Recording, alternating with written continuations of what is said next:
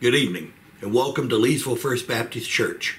We're continuing in our Bible study in the book of Hosea. We're up to chapter 9. Do not rejoice, O Israel, with joy like other peoples, for you have played the harlot against your God.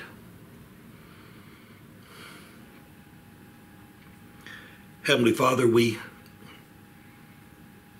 we thank you for your holy word. And we know that it's not just for our edification, it's not just for our spiritual growth, but your word is also intended as a love letter to help us to walk closer to you, to know you and to love you. Help us do that tonight. Help us to be faithful to your word, for we confess that many times we twist your scripture, that there are many of us who act as lawyers, twisting the truth to make your word agree with us instead of twisting our lives so that they might be straight with your word. Help us, Lord. We seek revival, but we understand that that comes with repentance. Lead us into repentance. Tonight, as we draw close to your word, let us draw close to your heart, that we might learn your way and your will, that we might be pleasing children in your sight. We beg this and the gift of your Holy Spirit in Jesus' name. Amen. Last week, God talked about the breaking of the covenant. This is a divorce of divorce proceeding. And God has exp- explained last week how the people had so rebelled against him, committed spiritual adultery with other gods, that they were no longer his wife. This is a horrible story. You can't lose your salvation. I, I, have repeated that because you, I can't repeat it enough. But churches can lose their saved people. Christian families can lose their saved members. Until after a while, it's a church in name only. It's a Christian family in name only. Tonight, God's talking about the results of that, that divorce. He is saying, You are no longer mine. You're no longer my spouse. You're no longer my people. You belong with the heathen, with the pagans, with the lost. He, so he says, Do not rejoice, O Israel, with joy like other peoples. Now, most scholars agree that this was during the time of the fall festival, the harvest as they celebrated all the food they'd gathered over the, the spring and summer's work. Enough food to where they could survive all through the winter and also have enough for a party. And so this is a time of a party for Israel with a lot of rejoicing, a lot of singing, a lot of dancing. But God says, don't. Now that would have made Hosea a, a, a bit of a laughing stock. They would have said, Why shouldn't we celebrate with all this wonderful food? Because you have played the harlot against your God. This food is not the proof of God's love towards you because you broke your love relationship with God. You have made love for hire on every threshing floor. Now, this is unfortunately becoming more and more understandable in modern day America. When I first started preaching and I explained fertility religions in Bible studies, people would look at me as though I were speaking Greek. And we will talk about this more in detail later, but in general, the peoples around Israel worshiped fertility religions. they they saw a man, they saw a woman, they came together, and through the act of sex, magic happened. A baby was born. And they began they believed, these pagans did, that the act of sex had power. Wives would tell their husbands that this power, because this power creates life, if our crops are not growing well enough, you need to go to the temple prostitute, have sex, release some of that magic energy so that our crops will grow better. And there were actually prostitutes, male and female, straight and homosexual, who would offer sex. Some of them would do it for free, but most of them did it and were paid. You have made love for hire. That's what he's talking about. On every threshing floor, they would thresh the grain to separate the the wheat that you could actually the kernels of wheat that you could actually eat from the the chaff, the worthless part of uh, of the um, the wheat plant. On, on that threshing floor, praying to the whatever pagan god it might be in the area, praying that that god would bless their harvest by offering up the sacrifice of sex with a prostitute, a temple prostitute. As we look at the growing filth in our world today, this which was incomprehensible to my parents and my grandparents becomes all the more understandable. It's easy to talk yourself into that. The threshing floor and the wine press shall not feed them. You're offering up religious sacrifice of sex to these pagan gods. So the real God says, I'm going to cut you out. I'm going to stop the wheat. I'm going to stop the, the grapes. They shall not feed them, and the new wine shall fail in her. They shall not dwell in the Lord's land. Not only am I not going to feed you from my land, I'm not going to let you live there. This is like a jealous husband telling his promiscuous wife, You will get kicked out of the house. You can't live here. But Ephraim, this is Hebrew poetry. We're going to rhyme two ideas. Remember, Hebrew poetry, you rhyme ideas instead of sounds. Unlike our, which relatively speaking is sort of a primitive poetry, hickory dickory dock, the mouse ran up the clock. They rhyme ideas. And it's very, as you read the Old Testament, you will see it everywhere. And the rhyming of two ideas has a benefit of explaining something, not from one point of view, but often two or three. You can better understand the, the, the message being conveyed by looking at it at different aspects. But Ephraim shall return to Egypt and shall eat unclean things in Assyria. Egypt was the land of their captivity. They were slaves in Egypt. And God is saying, You're going to go back to that slavery, but not in Egypt this time, but in Assyria. You will be owned again. You won't be free. You will be slaves in Assyria, where you'll have to eat unclean things because that's what your master gave you. Now, it could have galvanized the spirit of the Jews, as what happened to Judah when they were in the Babylonian captivity. They became more Jewish while they were in Babylon.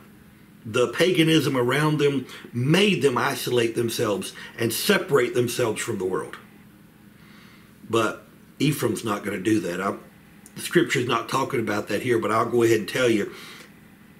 The northern kingdom called Israel is going to be assimilated.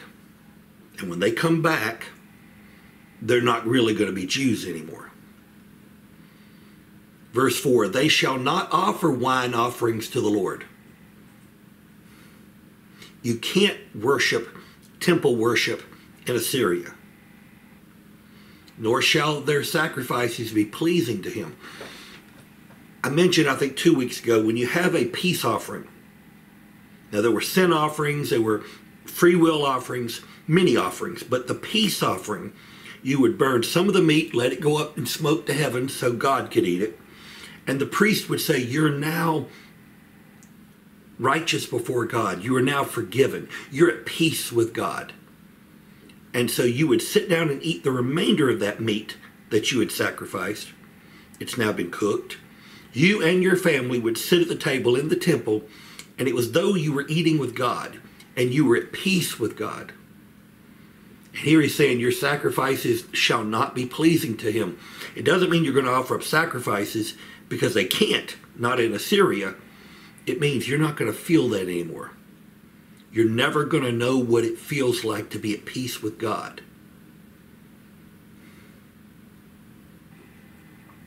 It shall be like, like bread of mourners to them. As you lose a loved one and you grieve that, that's the way the bread's going to be when you eat it. I'm not at peace with God. The loved one is dead. My life is dead. My religious life is dead. My heritage is dead.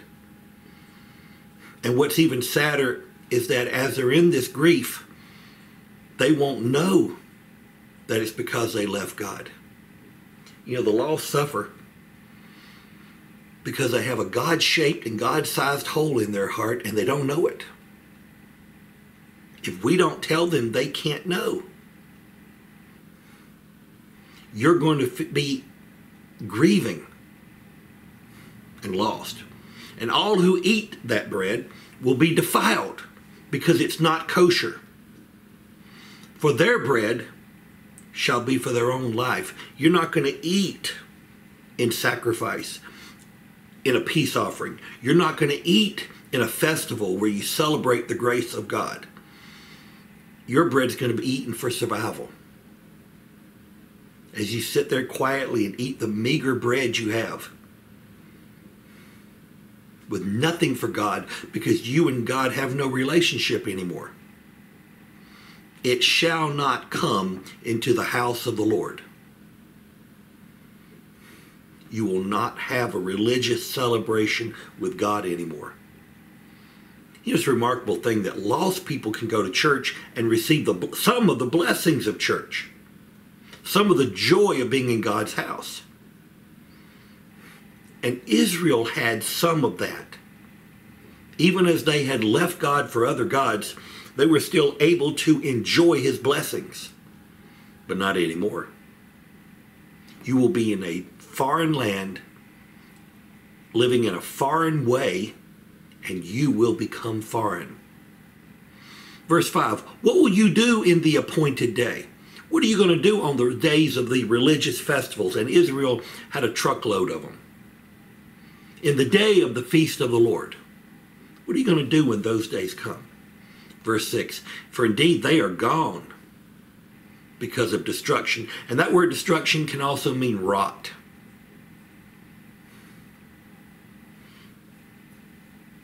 They're gone because of what you did.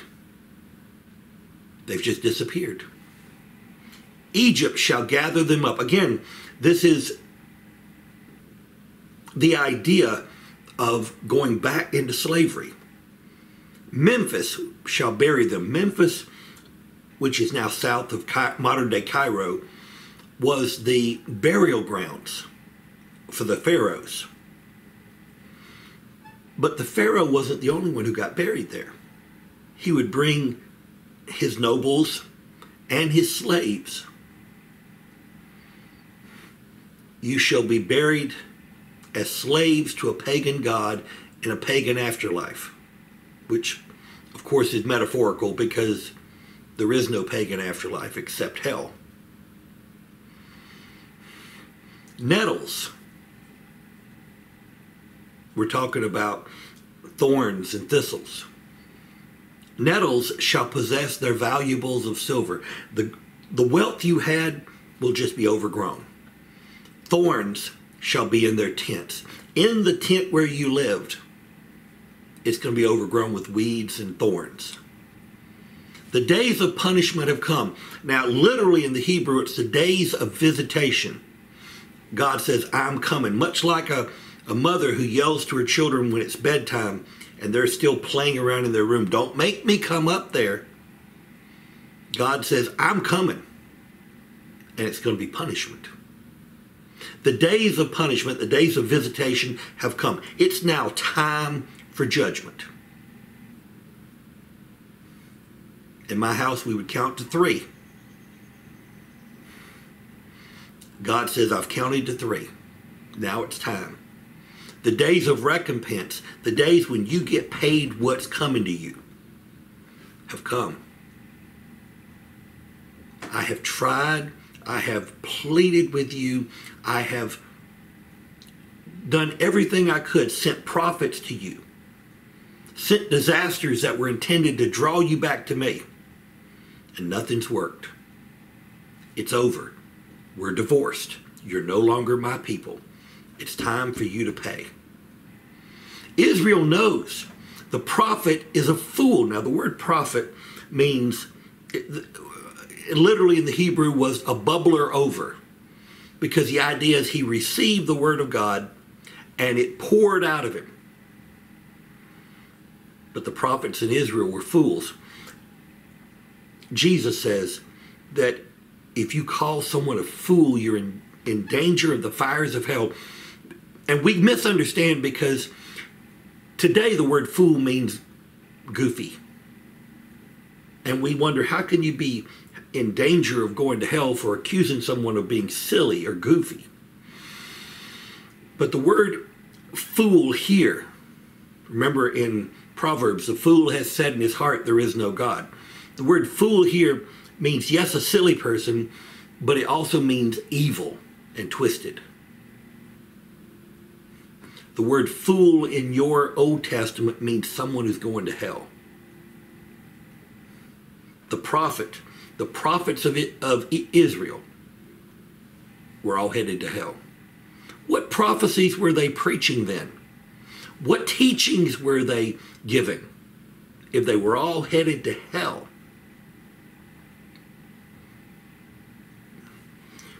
you know, the we Christians believe that the pastor in our church can be headed to hell. But the word of God that he preaches is under the authority of the Holy Spirit. And people can be saved by listening to the preaching even of a lost man because it's God's word, not the preacher's word. But in this case, the prophets are are all going to hell. And the spiritual man, this is Hebrew poetry, we're still rhyming it, is insane. Literally, what comes out of him are insane rantings. Instead of the word of God bubbling out of him, insanity bubbles out of him. Maybe the closest uh, example we have of that today is the idea in charismatic churches of the holy of speaking in tongues and the rantings that come out that belong to the Holy Spirit. Imagine if those rantings coming out are insane and evil. The people of Israel don't even have a chance because their prophets, their holy people, are all lost, preaching insanity and I'm not going to go far with this, but you might try turning on the television and hearing some of the preaching that goes on nowadays. Why? Because of the greatness of your iniquity and great enmity. Now, there are two words for sin that we use most of the time in the Bible. There's sin, which means to miss the target. You shoot at the target and miss. But there's the word iniquity is the word twistedness, pervertedness, to be crooked. I have sins. I commit sins, but my iniquity is my twisted nature, my twisted heart, my twisted mind, which gives me a twisted life. They had prophets who were fools, spiritual men who ranted insanity because they were twisted and evil and great enmity. The second reason they were doomed was they had great hatred for God. They hated God's word. We live in a world today of people who hate anything Christian. And the only Christianity they want to allow is the Christianity they have twisted to agree with them.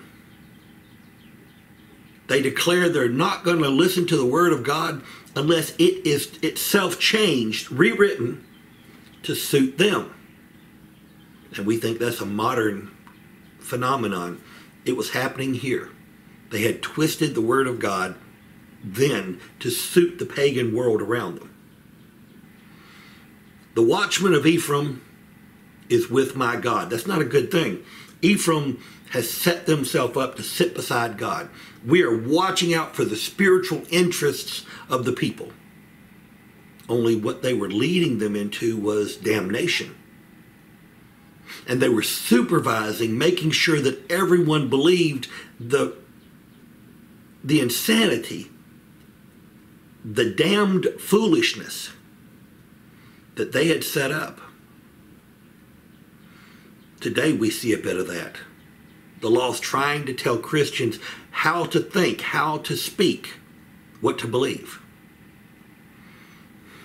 Ephraim has set himself up to sit beside God and tell people what to believe. But the prophet is a snarler, is a fowler's snare.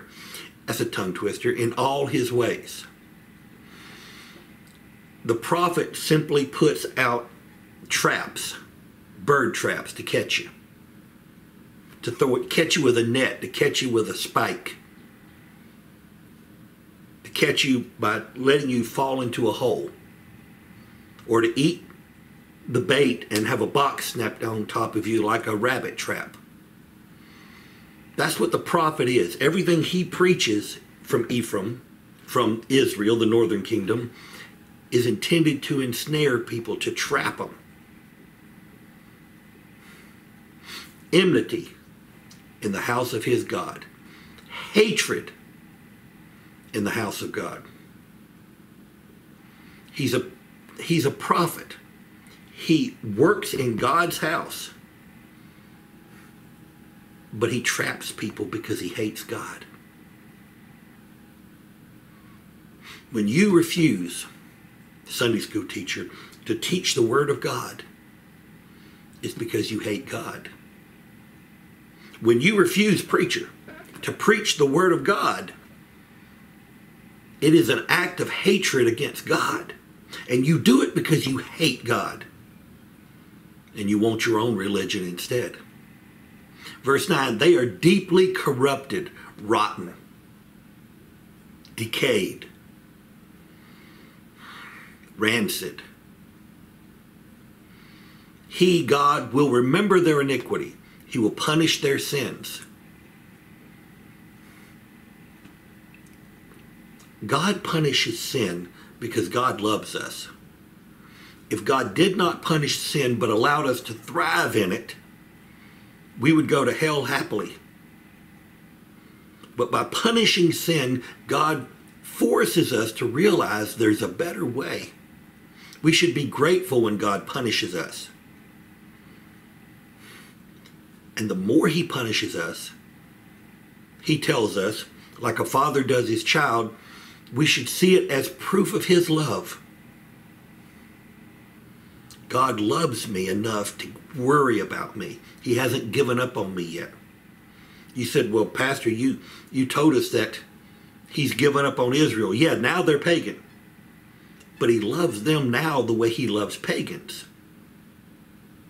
And he wants pagans to come to a knowledge of him as well. Verse 10 I found Israel like grapes in the wilderness. I saw your fathers as the first fruit on a fig tree in its first season. You were so underdeveloped and weak and frail and nothing.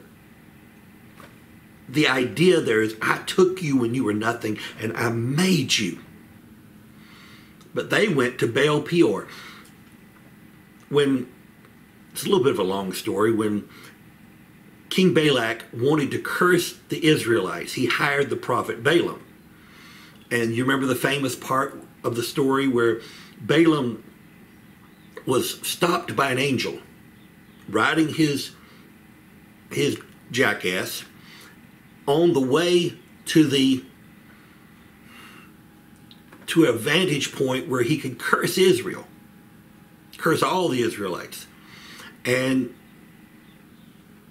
the animal saw the angel first and rebelled, and Balaam beat him until the angel allowed angel allowed the animal to speak. So Balaam realized that he was forbidden by God to curse Israel. Seven times Balak paid him to curse them. Seven times instead he gave a blessing to them. But because Balaam was being paid, he found out a way. The, the women of Midian were attractive to the men of Israel. And so they invited them to a festival where they were going to worship their God. Now, the word Baal, by the way, simply is Semitic and it means the Lord. And there were Baals all over the, the land at that time. So it's not like there was one god Baal. There was Baal Peor. Peor was, well, the, the word means opening, so we wonder if it means maybe a, a gap in the mountains, like a valley, or we're not quite sure what it means. But it was an area as well. So he was the god of that area you would have Baals all over who were the gods of their area. The ancient peoples believed that their God was local. And so when you picked up and went to another town, you would quit worshiping your God and you would worship the new God because you were in his town. Well, the women said, Why don't you come to our party? Which turned out to be a, a, a, a religious worship of their God. And in their fertility religion, as I explained earlier, they worship their God by having sex. And the men of Israel said, That sounds like a good idea. Sex has been used by the devil for all of human existence to trap God's people into sin. We know that sex is a gift from God and is intended for husband and wife, one man and one woman. Any other variation of that becomes sin. Inside of marriage, sex is a wonderful and blessed thing. Outside of marriage, it is fornication. If you're married, it's adultery. And it is evil. But not for the first time, the Israelite men said, you know what? We can do both. We can have sex with the beautiful women and we can stay Jewish. We can stay people of God. Well, of course they couldn't. And that always became a problem. The worship in of the Midianites stayed a, a thorn in the side of Israel always. God saying, I took my people in their 40 years of wandering in the, in the wilderness. I established them as a nation. They owe me everything, and yet they slept with those women. And dedicate, excuse me, and separated themselves to that shame. Now, the word separated is also used for a religious dedication in the idea that a, a, a man separates himself from the world to become a pastor. they dedicated themselves to that shame. He doesn't even call it religious worship. He says it's shame. And they separated themselves to that shame. They became an abomination, just like the thing they loved. Now, in the Hebrew, that both means they, they became an abomination like it, but it also means they became an abomination to the degree that they loved it. They intensely loved it and therefore intensely became an abomination. An abomination means something disgusting, but so disgusting as to be hellish, to be outside of the kingdom of God. Verse 11, as for Ephraim, remember Ephraim is the largest city in, excuse me, the largest um, tribe in the northern kingdom, the northern 10 tribes, and therefore they spoke for the entire nation. So when you say Ephraim, you're talking about all of the northern kingdom. But as for Ephraim, their glory shall fly away like a bird. What is their glory? Well, you don't have to worry or wonder very long because God explains it in the second half of verse 11. No birth, no pregnancy, no conception. The glory of Israel had been their children.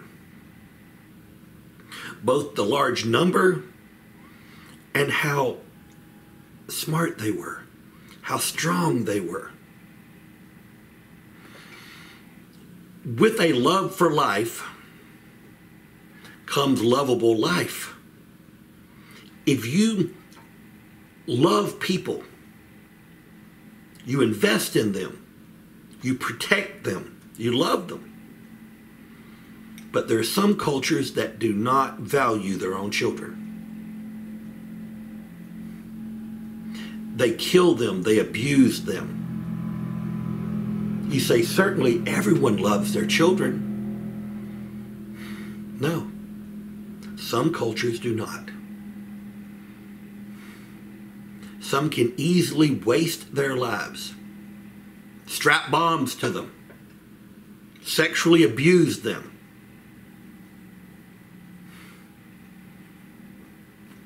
Their children are not their glory. We Christians believe in life because a love of life means a love of and an opening of all the possibilities of that life. Now you may argue, well, what then about capital punishment? Because the people who support abortion call people like me who love life hypocrites for not being against capital punishment. The difference is that capital punishment is only done by the laws of this land and by the laws of the Bible in defense of life. In other words, you don't execute everybody. You execute those who are a threat to life. In our country today, our laws state those are that's defined by people who have killed in such a heinous way that they are a real danger to do it again. We don't execute someone who we believe might be dangerous, but only those who've already already killed in a heinous way.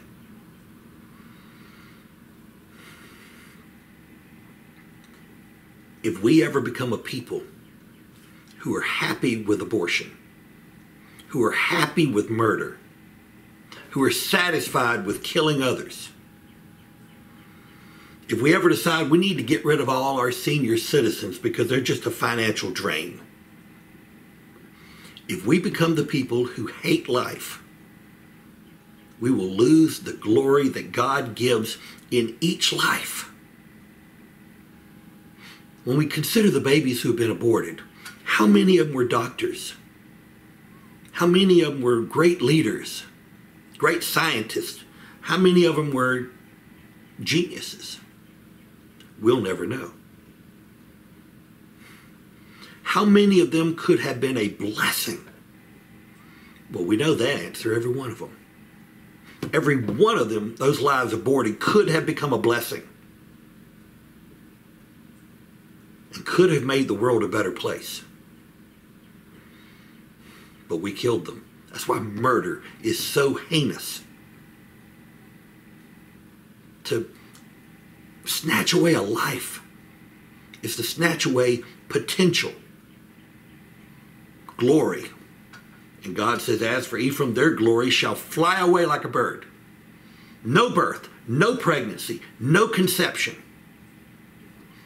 Verse 12, though they bring up their children, though they do raise children, yet I will bereave them to the last man. When the Assyrians attacked and finally conquered Israel, in every city, they told the parents, We're going to march you back to Assyria to be slaves. So we're going to kill everyone too weak or too young to make the trip. You can either bring your children out for us to kill them, or we'll come in and kill them and you too.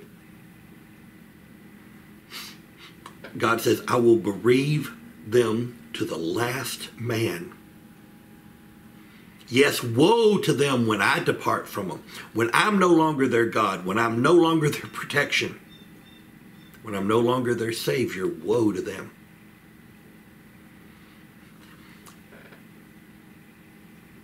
We see then that hell is our choice. And the punishments of hell are the result of what we want.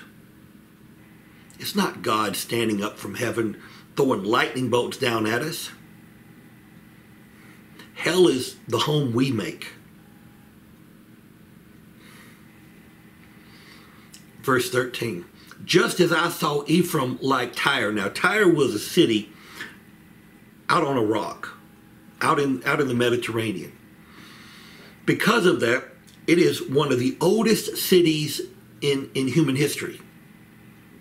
Because the problem with cities was always that it, they would become rich and become targets of thieves. And finally, a group of thieves would come in with their own army and kill everybody and steal everything and destroy the city. But Tyre was exempt for that for thousands of years, maybe 4,000 years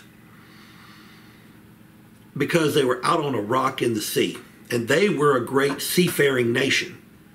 Fishermen who became traders, who became, well, they had their own armies as well. It's an interesting name. They were rich because of fishing, but also because of um, the clams, the mussels that were in the rocks around their city. That when you let them and you piled them up and let them rot, they would develop a purple dye that was very beautiful and, and very rare, so very expensive. The royal purple color that we are familiar with today is from the, those mussels, those clams. So Tyre became fabulously wealthy. And everyone tried to attack him, and no one could win until Alexander took the city on the coast, Sidon, which was opposite um, Tyre, destroyed it, took all the rocks from the city and from the walls, and made a highway through the water. They just kept dumping the rocks in the water until Alexander the Great could roll his war wagons right up to the walls of the city. And he destroyed the city, killed most of the 30,000 people who lived there, sold the rest into slavery. God says Ephraim was like that. They were set up securely, planted in a pleasant place.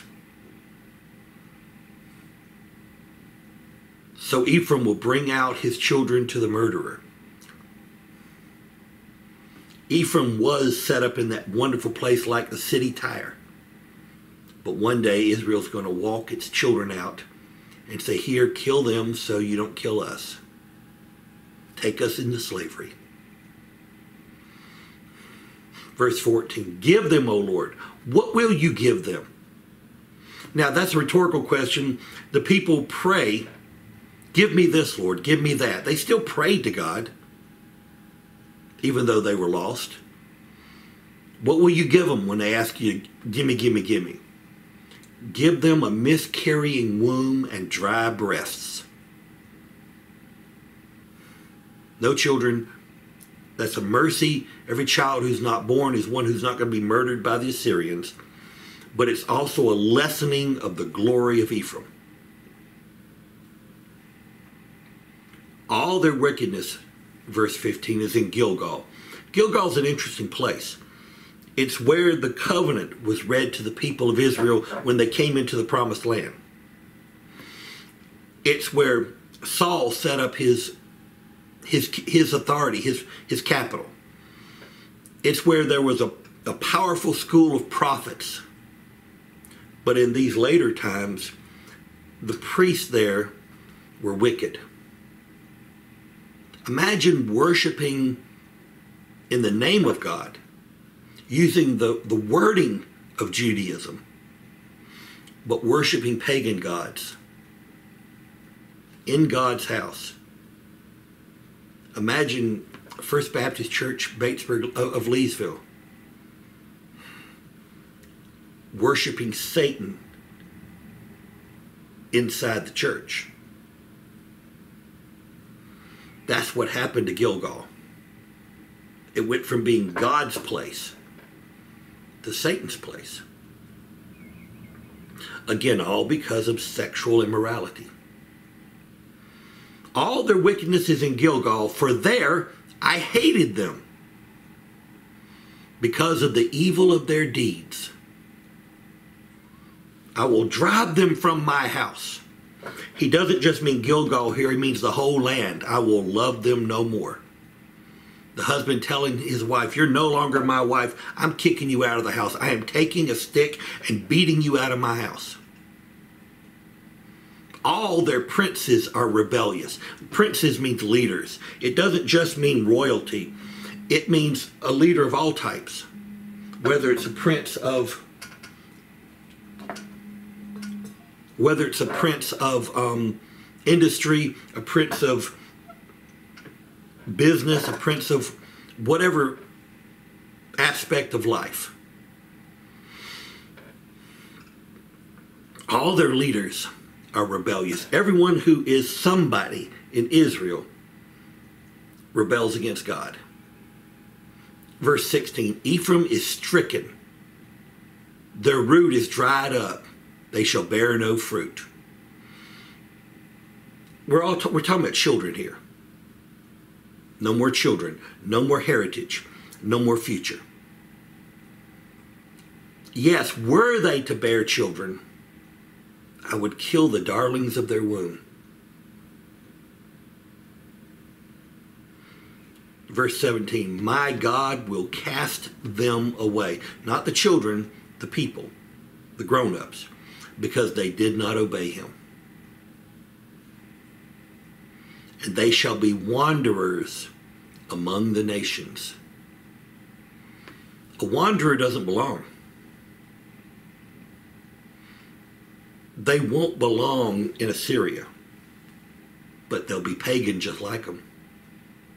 No home, no heritage, therefore no future, no children, no life. This is what it looks like to abandon God for the trappings of Satan. Israel has wanted this. God gave them the divorce because they broke his covenant. And now he's telling them what they're going to what it's going to be like. And if you'll listen carefully, this is grace. Because hopefully some of them, not what history tells us, not nearly enough, but hopefully some of them heard and said, This is horrible. I need to repent. And if you're a Christian in name only, can you hear this? Have I made it horrible enough to you to where you hear it and say, I need to repent or else my children will be lost? My grandchildren will be pagan.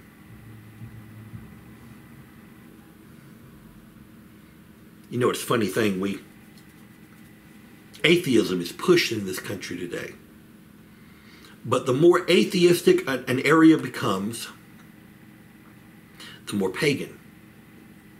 As I said earlier, we have a God-sized and God-shaped hole in each in each heart in the heart of each one of us. And we will fill it with something spiritual.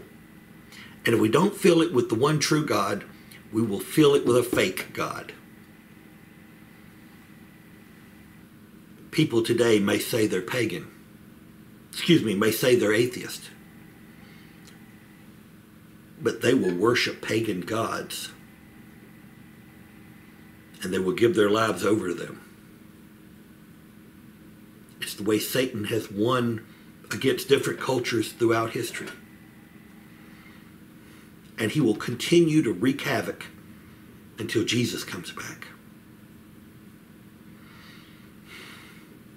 They shall be wonders among the nations.